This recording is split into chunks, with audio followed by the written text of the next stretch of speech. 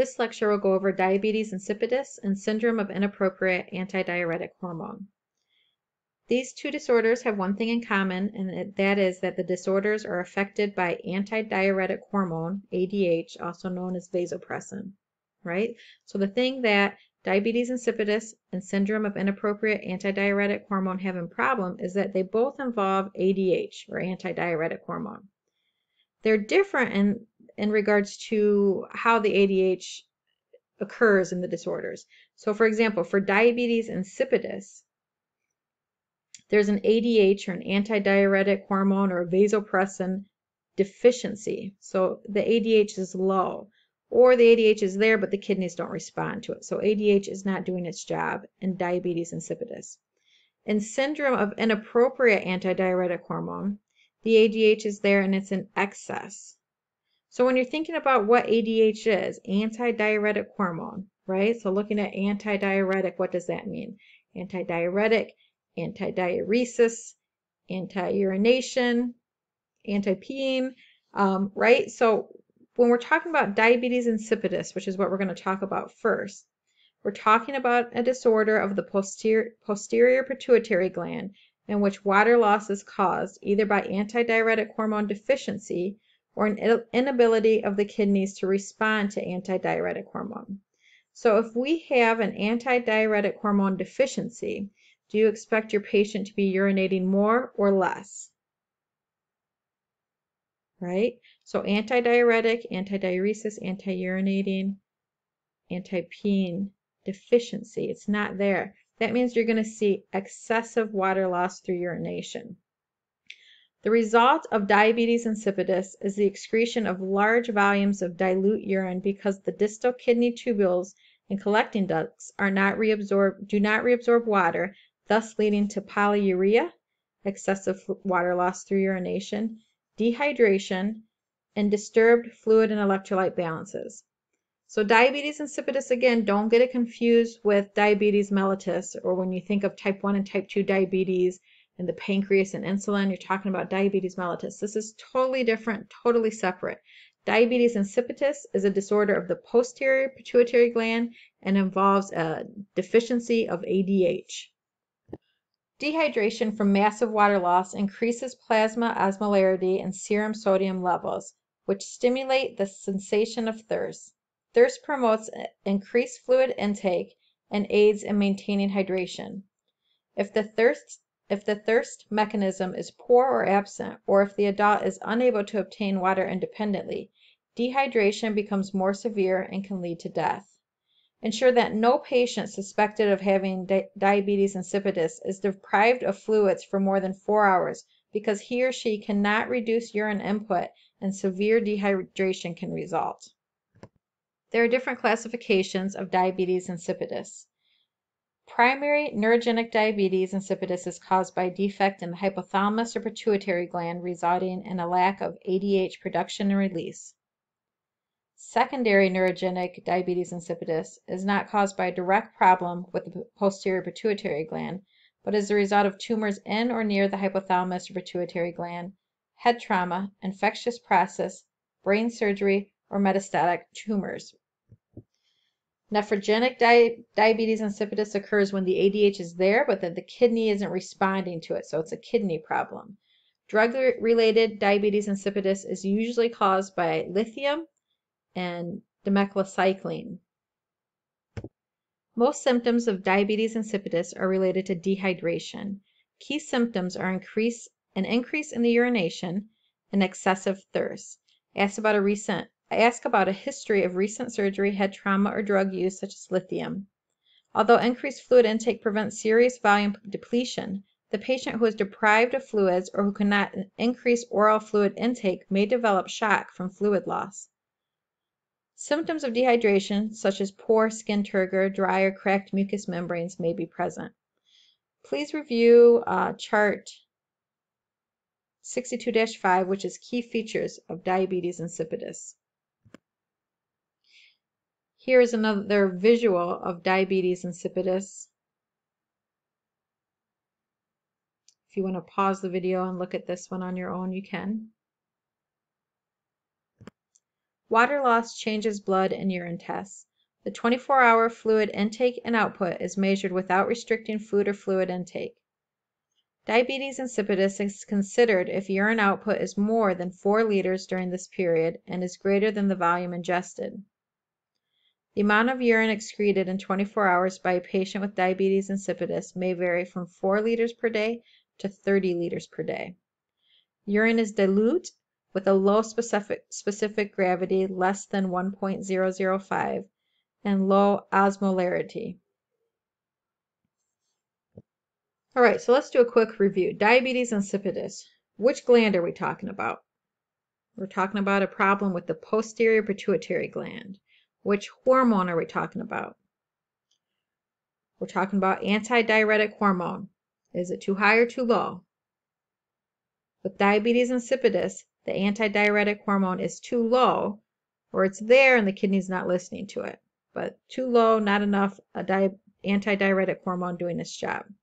In terms of signs and symptoms of di- diabetes insipidus, what are we looking at? And for signs and symptoms, we're talking about not enough antidiuretic hormone. We're talking about the patient having polyuria, increased urine output, a dilute urine being um, excreted, and we're looking at signs and symptoms of dehydration. So now we're going to talk about interventions for diabetes insipidus. The most preferred drug is desmopressin acetate, a synthetic form of vasopressin or antidiuretic hormone that's given orally, sublingually, or intranasally. So again, the problem here is not enough ADH. The treatment is a synthetic form of ADH, desmopressin acetate. For the hospitalized patient with diabetes insipidus, nursing management focuses on early detection of dehydration and maintaining adequate hydration. Interventions include accurate measuring, accurately measuring fluid I's and O's, checking urine specific gravity, and recording the patient's weights daily. Urge the patient to drink fluids in an amount equal to urine output. If fluids are given IV, ensure the patency of the access catheter and accurately monitor the amount infused hourly. Check the patient with permanent diabetes insipidus. The patient, I'm sorry, with permanent diabetes insipidus requires lifelong drug therapy. Teach the patient that polyuria and polydipsia are signals for the need of another dose. Drugs for diabetes insipidus induce water retention and can cause fluid overload. Teach all patients taking these drugs to weigh themselves daily to identify any weight gain. Stress the importance of using the same scale, weighing at the same time of day, and wearing similar clothing. If weight gain of more than 2.2 pounds, along with other signs of water toxicity such as a persistent headache, acute confusion, nausea, and vomiting occur, instruct the patient or family member um, that the patient must go to the emergency room or call 911. Instruct him or her to wear a medical alert bracelet identifying the disorder and drugs. Next, we're going to talk about syndrome of inappropriate antidiuretic hormone.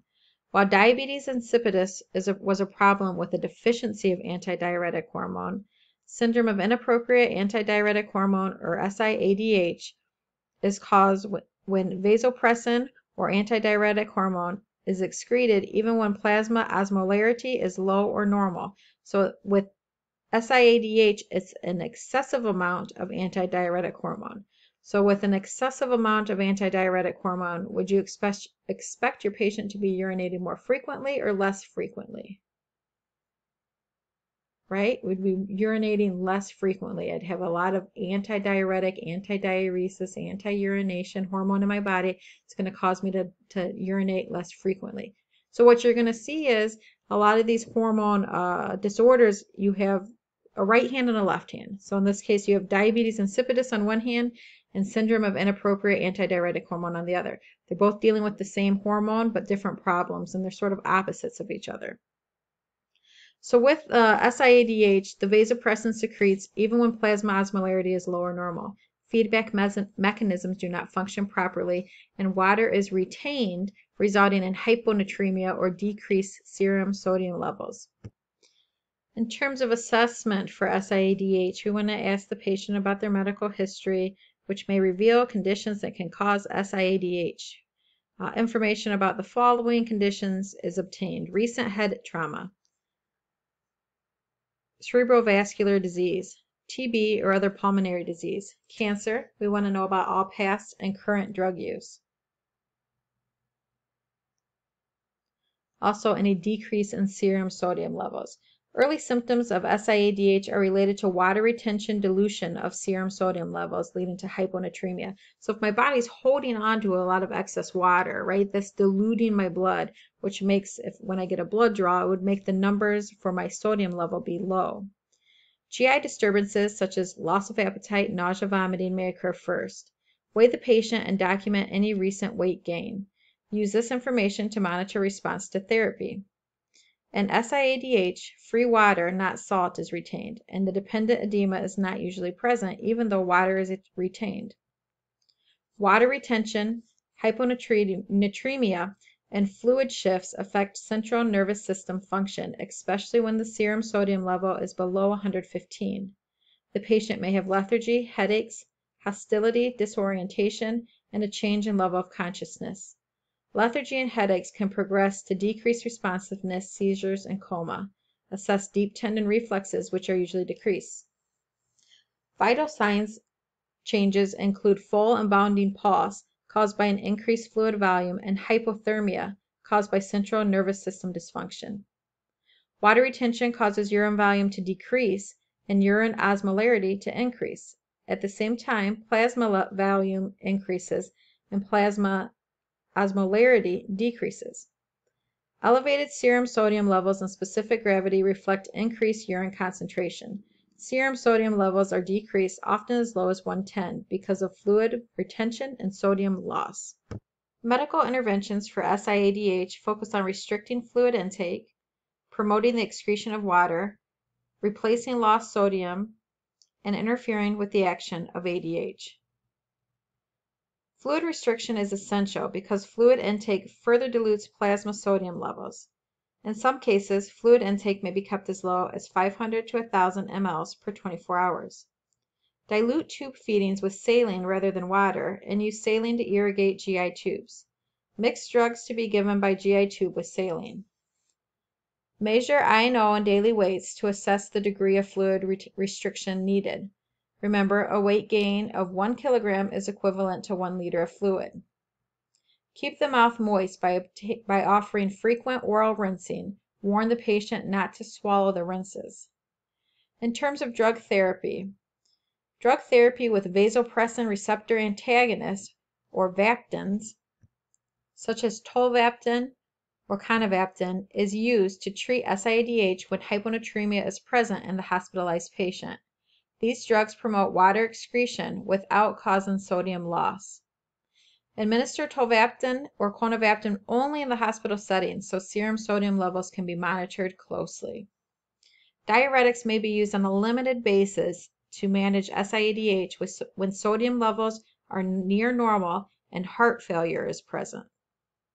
Hypertonic saline, such as 3% sodium chloride, is used to treat SIADH when the serum sodium levels are very low.